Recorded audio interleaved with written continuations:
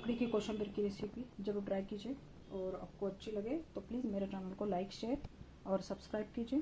धन्यवाद। इस किचन में आपका स्वागत है। आज हम बनाएँगे एक सिंपल सी डाइट के लिए ककड़ी की कोशिम्बी तो इसके लिए मैंने एक कटोरी दही लिया है, इसको अच्छे से फेंट लिया है ऐसा सॉफ्ट बना लिया मतलब कि, और चार ककड़ी लिए, इनको कद्दूकस कर लिया है, और शक्कर लिए और थोड़ा सा स्वाद के हिसाब से नमक लेंगे। तो कद्दूकस की हुई ककड़ी, हम निचोड़ लेते हैं इसमें का पानी। और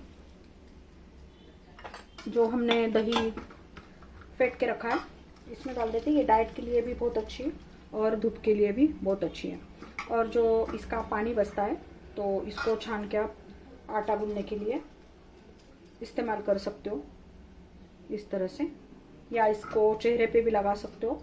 धूप में बहुत ठंडा अच्छा लगता है। तो इस तरह से मैंने ककड़ी इसमें डाल दी है। इसको मिक्स कर लेते हैं हम, दही को और ककड़ी को।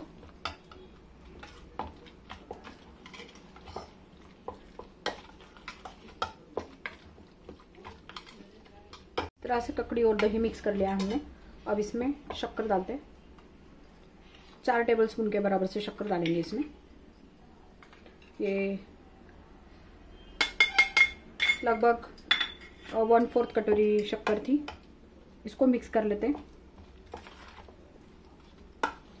और नमक इसमें डालना है हमें स्वाद के हिसाब से। बस थोड़ा सा मतलब कि पिंच भर से थोड़ा ज़्यादा। लेकिन वो कब डालना है इसको फ्रिज में रख देते हैं पहले। और जब हम खाने को ये लेते हैं, तब इसको हम नमक डालते हैं। नहीं तो क्या होता है कि इसका पानी छूटने लग जाता है फिर दही का नमक की वजह से। तो जो गाढ़ापन होता है इस टाइप का, वो फिर नहीं रहता है। तो फ्रिज में रख दिया था। अभी हम खाना खा रहे हैं तो अब इसमें हम एक चुटकी भर स्वाद के हिसाब से थोड़ा सा स्वाद अच्छा आता है इसका, नमक डालने से, नमक डाल दिया और इसको अब हम सर्व करेंगे एक बाउल में।